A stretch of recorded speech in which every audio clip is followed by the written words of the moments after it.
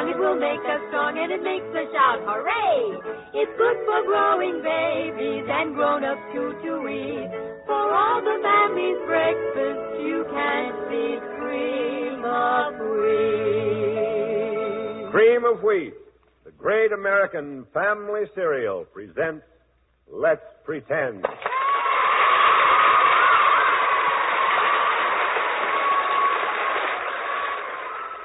Thank you, thank you for that nice reception, audience, and welcome to Let's Pretend. How about that story? Well, let's see. Gwen, Sybil, let's get some action. We've got plenty of action for today, Uncle Bill. Tell him, Gwen. Well, it's a story we've had hundreds of requests for, Uncle Bill Bluebeard. How do you get that, Uncle Bill Bluebeard? I'm not a mean fella. Of course you're not, Uncle Bill. But if you were, you'd get just what was coming to you, just like he does. Oh, in other words, everything comes out all right? Everything, except for the fellow who did wrong. And wicked people have to be punished, you know. Well, I'll buy that. All right, how do we travel? Well, it's Jack Grimes' turn to say. All right, Gwen. I'll tell you what, uh, let's get there in a hurry, huh? Uh, let's make it a fire engine. All right, Jack, a fire engine it is. Everybody set? One, two, three. We're headed straight for Let's Pretend and the story of Bluebeard, a fire engine with a clang, clang, clang. Let's go!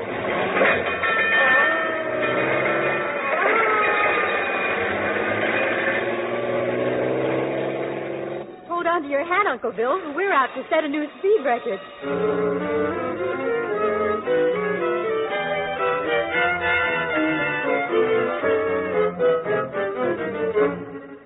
Once upon a time, long years ago, there was a dark and gloomy castle high up on a lonely mountain. In it lived a mysterious man named Bluebeard. No one knew much about him. Most of the villagers feared him and went out of their way to avoid him. Just recently, they had heard he had returned from a journey bringing a new wife with him, but no one had seen her. As our story begins, Bluebeard and his bride are looking through the many rooms of the castle.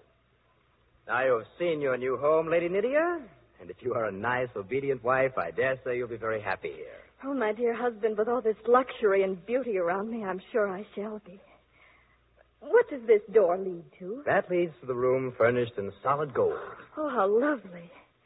And this door, what is in it? To the room of precious stones. Diamonds are in that room in large silver baskets. Rubies, too, that overflow their urns of bronze. Oh, I have never known such wealth. Oh, that room at the far end of the hall, Bluebeard? That I cannot tell you. And listen to me well, Nydia. You must never, never enter that room. Every other room in the castle is open to you. All except that one. But why, my lord? That is my business. Only obey me if you know what is best for you. And now say goodbye to me, for I must leave you for a short while. Oh, you are going away so soon. I cannot let a new wife stand in the way of business adventures. Here are the keys to all the rooms. Each one is marked. Take them. Enter whenever you will or whatever room you choose. All but this one. Now, don't hope to deceive me, for I shall know if you disobey. And I warn you, you will pay dearly for it. And now, farewell. Farewell, my lord. Hmm, I wonder where he's going. Oh, well, there's plenty to do while he's away. This is the key to the gold room. This one to the silver. That's the key to the diamond room. And this one must be to the forbidden room. Hmm, I wonder what's in the forbidden room. Oh, but I mustn't disobey my husband. No, I won't go in. What's that? I, I hear a sound. Did it come from the forbidden room? Oh, it, it couldn't. Oh, it, it did come from behind that door. Oh, I, I, can't pass by. But, but I must know. I shall open the door and see for myself. Oh. Oh, heaven help me.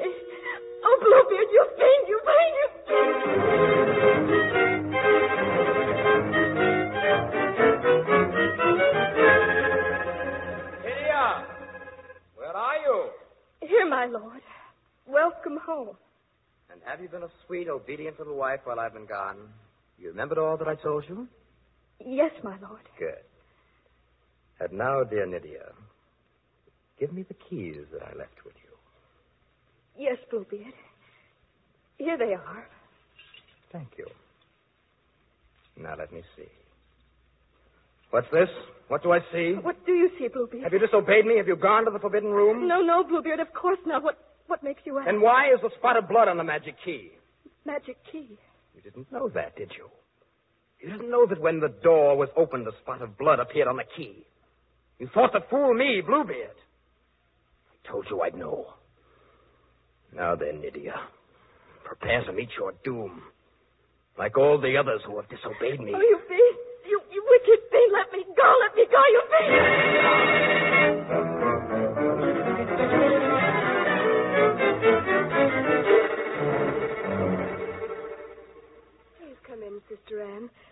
Too, brother. Of course, Fatima. What did you want to talk to us about, Fatima? Yes, sister. You sounded very serious. It is serious, Thomas. And I want you and you, Frederick, to advise me. Oh, then it evidently doesn't concern me. Oh, but it does, Anne. Very much. Well, then tell us, sister. Well, as you know, of course, Bluebeard seems to be very much in love with me. He certainly seems to be, Fatima. You couldn't mistake it. Couldn't you? Sometimes I do. What do you mean, sister? He's been charming, I know, and while I like him very much, there are times that something about him frightens me, too. I, I don't understand it, and I don't know what to do. Well, until you're quite sure, Fatima, I'd do nothing. But that's why I wanted to talk to all of you.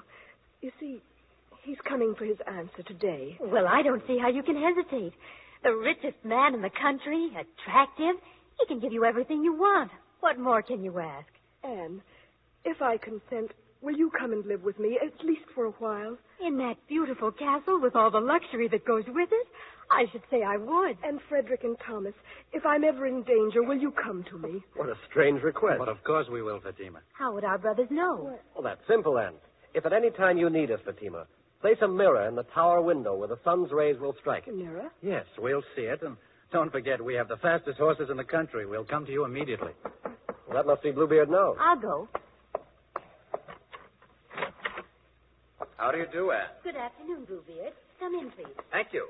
How do you do, sir? Good afternoon. Won't you sit down, Bluebeard? Thank you, Fatima. How lovely you look today. I'm glad you think so. Thomas. Yes? Uh, Frederick, let's make some tea. Help me, won't you? Since when have you needed help for that?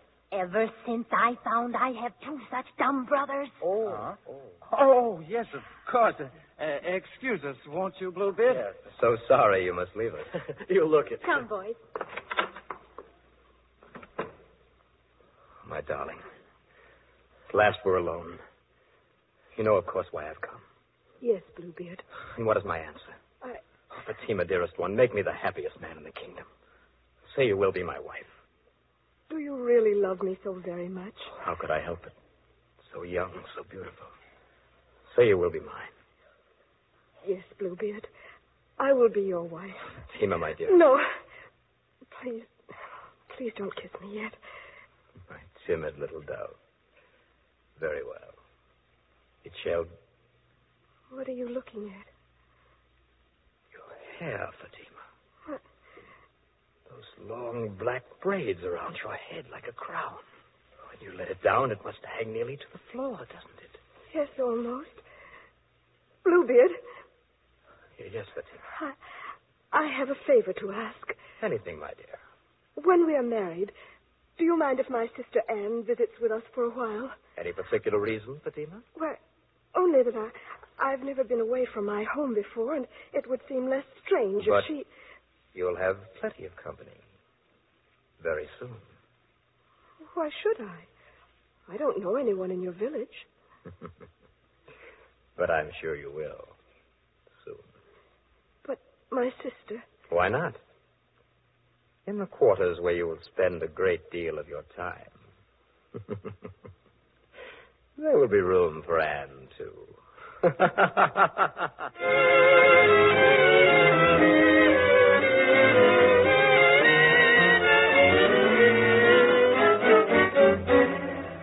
Young and lovely Fatima, in spite of a feeling of fear, finally accepted Bluebeard's proposal of marriage. But before she gave her answer, she made her sister Anne promise to journey with her to his castle. Then she and her two brothers arranged that, should she ever need them, a mirror was to be placed in the castle tower. The reflection of the sun on it would tell them she was in danger and they would come to her. We find the beautiful bride with her sister Anne walking through the magnificent corridors of the castle as Bluebeard talks with them. And so, Fatima, I must go away. But you will be a good little wife, and Anne here will keep you company. Besides, I have given you the keys to all the rooms in the castle. Open them and inspect their treasures to your heart's content. All but this one room. Don't use the little key or unlock the door it fits. You'll regret it all your life. Do you understand? Yes, my lord. I have no desire to pry into what doesn't concern me. Others have said that too, but curiosity overcame good judgment. However, we shall see what you do. Goodbye. we shall see.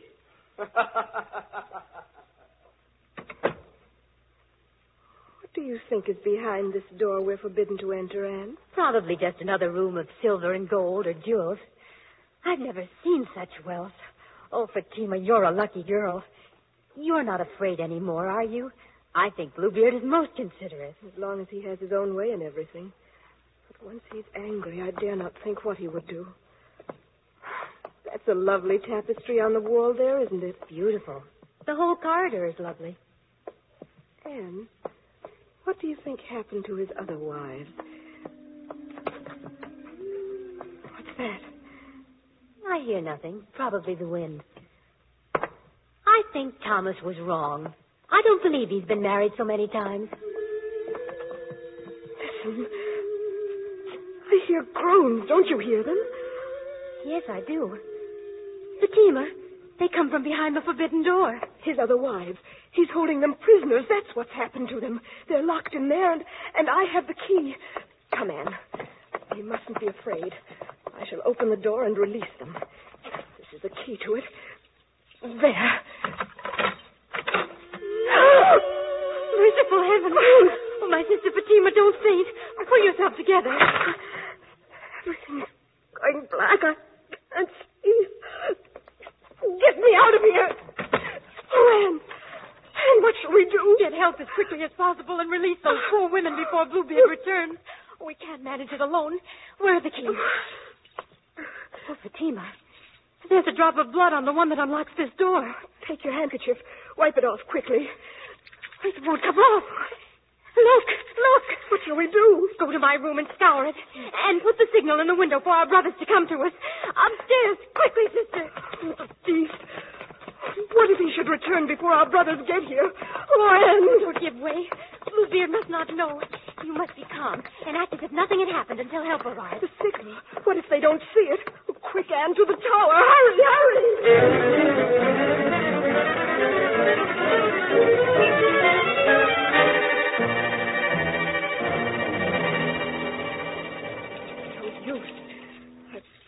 Everything I know. The spot is still there.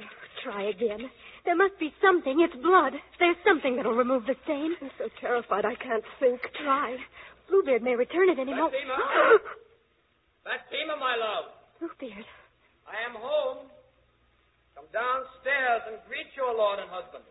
Anne, he's here. Yes, my lord. I come. Oh, try, Anne. Scour the key again while I go to greet him. I'm coming, Bluebeard.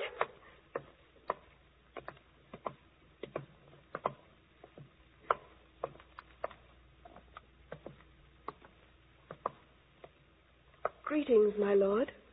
You are pale, Fatima. Is anything wrong? Oh, no, Bluebeard. My, my head aches a little, that's all. Well, I can cure that. Give me the keys. There is a special herb in the silver room that will cure you immediately. Oh, no, no, I, I don't need it. My head will be all right soon. Silly wife. You are quite pale. You need some medicine, and I'll get it for you. Give me the keys. There. There they are, Bluebeard. Thank you. What's this? Fatima, one key is missing. Where is it? One key is missing, Bluebeard. Oh, which one? The one to the forbidden room. Where is it? Oh, it, it must have dropped in my room. I, I'll run upstairs and get it. Excuse Make me. Make haste. I want all the keys. Yes, my lord. I'll get it. Oh, Anne, is the spot of blood still on the key? Heaven help us, it is. Oh, what shall we do? Give me the key, and then stay there by the window to tell me when our brothers are in sight. Perhaps I can delay until... Fatima, I am waiting. I'm coming.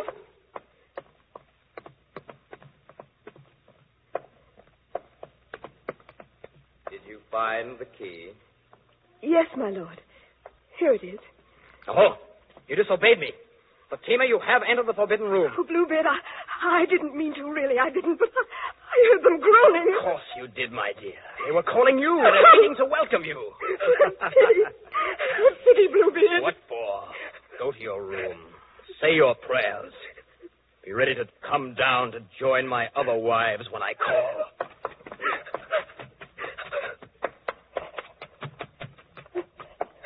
Anne, Anne, help me. Help me. Fatima, oh, how white you are. He's going to kill me. I know he will. Oh, heaven help me. Did you put the mirror in the sun? Yes, yes. Then stay by the tower. Tell me what you see. Fatima, I'll give you a moment to say your prayers. Sister Anne. Sister Anne, do you see anyone coming? I see nothing but the sun on the grass. Fatima, say all your prayers. the time is near. A moment, my lord. Another moment of prayer. Sister Anne. Sister Anne, do you see anyone coming? I see nothing but the sun on the road and the green grass. The time is up, Fatima. Come down. One moment more, my lord. Only a moment. Oh, Anne, do you see anyone coming? The great dust rises. It's moving this way. Tell me quickly. Is it my brother's horses? Fatima, come instantly. Alas, my sister, it is only a flock of sheep. Fatima, one second more and I shall come up for you. A moment, my lord. To say goodbye to my sister. Sister Anne, do you see anyone coming? I am on the first step of the stairs, Fatima. Anne, do you see anyone coming? Yes. Yes, I see two horsemen. They're a long way off. Can you see? Are they our brothers? Tell me. I think so. Yes, it is. It is. Thank heaven. Oh, wave your handkerchief. Signal them to hurry. I'm coming up, Fatima. No, don't! I'm coming, my lord. I'm coming. What do I hear? Who dares enter my castle yard? I'll make short work of them. Frederick! Thomas! Help! Help! Save me! He's going to kill me! Hurry! Take down the door. Hurry. There he is, Frederick, up the stairs. How dare you? you thought you must let me at him, Frederick. Don't scare him. He tried to kill her. You both, you whippersnappers. Fight me, will you? Yes, to the death, you monster. Oh, ah, you run me through. I am done for. Oh, my brothers. You saved me. Oh, thank heaven you came when you did. Yes, thank heaven we did. Brave girls, my sisters. Now, come with me to the forbidden room quickly. Help us release those women he has held prisoners. Their torture is at an end. For Bluebeard will never harm anyone again.